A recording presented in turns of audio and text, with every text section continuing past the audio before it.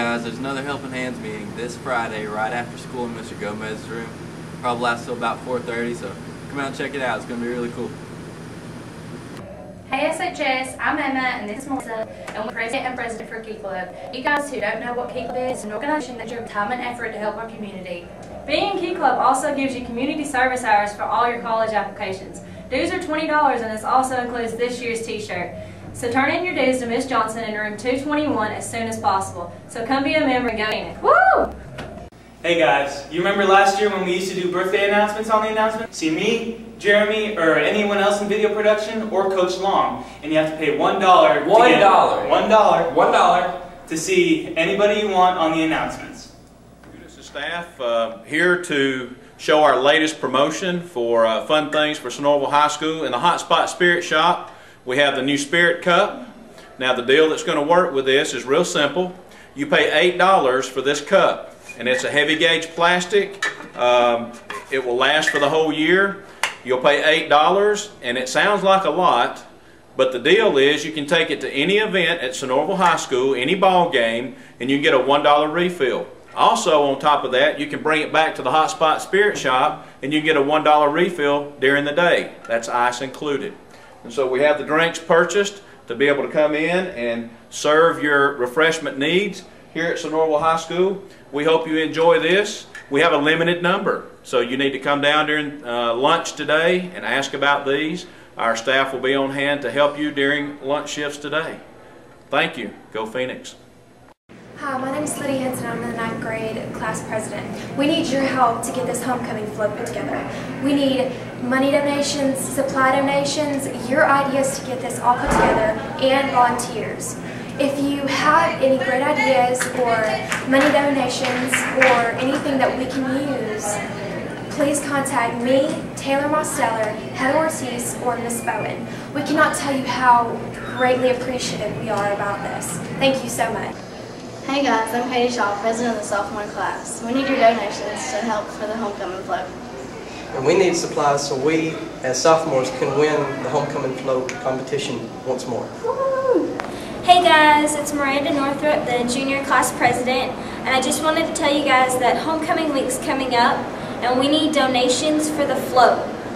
And if you have any donations or have any questions about the float and anything about homecoming week, see me or one of the other officers and we would be glad to help.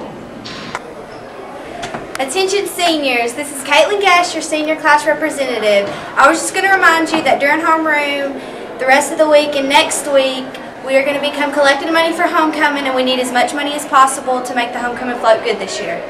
So go Phoenix!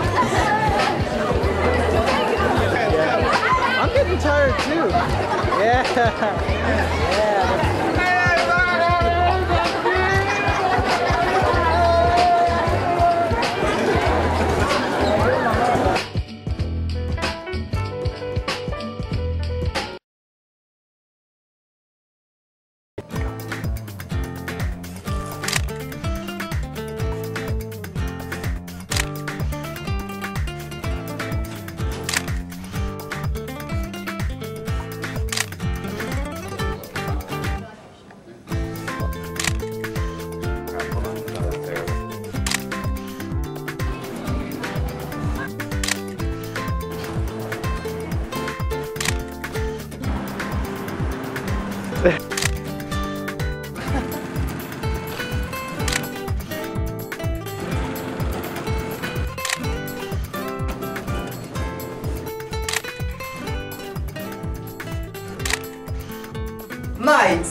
picture retakes will be on September 6th in case you did not get your picture taken, alright mate?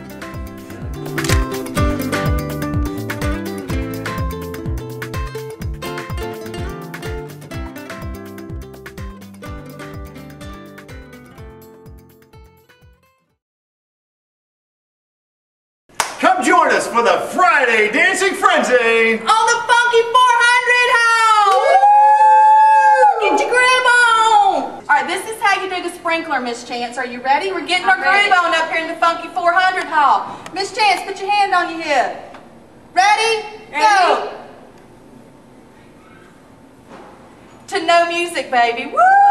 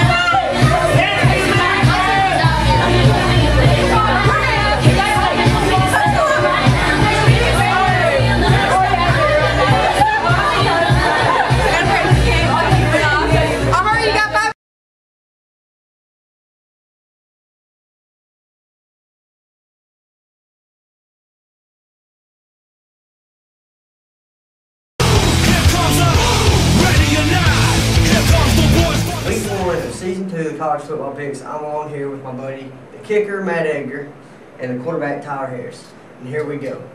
Game one, Tulsa at number one Oklahoma. Tyler, how's this one going to go down? Well, I'm looking at that Oklahoma's going, they're ranked number one, people, come on. They got a return quarterback in Landry Jones. Uh, they got, I think it's a junior running back who's going to step up and take the place of uh, Marco Murray. Marco Murray, whatever. So I'm giving it to Oklahoma all the way. All right, man. So this is a no-brainer, like Tyler said. Uh, number one ranked team in the nation against uh, an unranked, uh, not BCS bowl team. Uh, I'm giving it to Oklahoma all the way. I'm going with Tulsa. I'm just kidding, guys. Oklahoma's going to murder them. Game number two, Louisiana Monroe at number six, Florida State. Tyler. Florida State, they lost their starting quarterback in Christian Ponder, but uh, they got EJ Manuel, Yep. and he's a hoss, folks, and I'm going Florida State. All right, man. Once again, I'm going to agree with Tyler. This is a no-brainer. Uh, Florida State, top-ranked team in the uh, country, It's a very good football team in the ACC, and going up against uh, Louisiana Monroe, they just don't stand a chance. So I'm going Florida State. Yeah, this is pretty Well, much they, sense. are they in the Sun Belt? Something like like that. It doesn't And matter. it's a no-brainer. Florida State, it's at FSU, no way.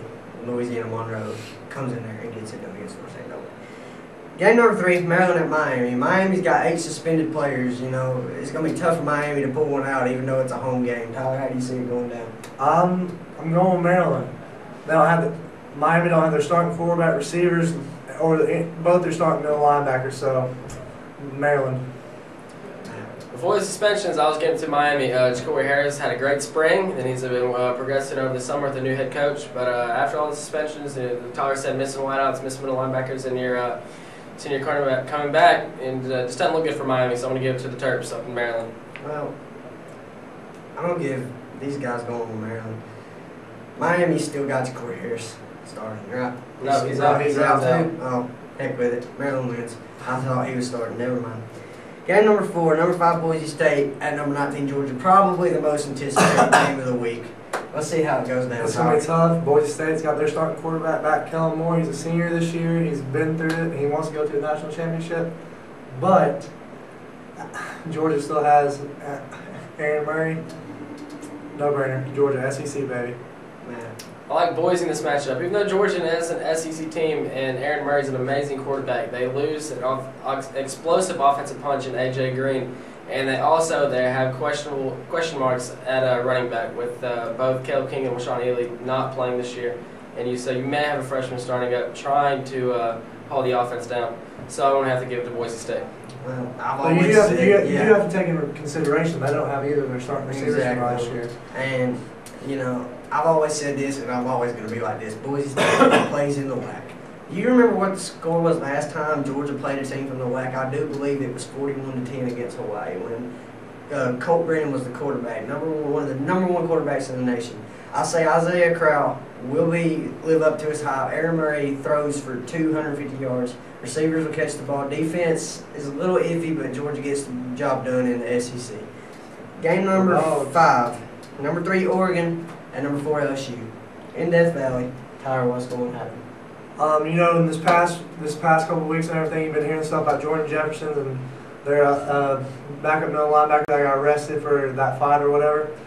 Um, they're still a good team. They've got good veterans on defense, but it's just it's gonna be a tough one. I'm going. It's gonna be a draw for me. I don't know who's gonna win. All right, Matt. Well, as everyone always says, SEC is the most dominant powerhouse in all of college football, which is very true. But without their starting quarterback, I don't know how well they can play. Yes, their defense is still amazing, and their offense still is packed full SEC punch. I would like to take Oregon. Oregon has a high explosive, hurry up offense. Their defense isn't amazing, but it's sound enough to hold down uh, without Jordan Jefferson. So I'm liking Oregon in this matchup. Oregon's the closest thing that can come to LSU speed. It's going to be a speed game.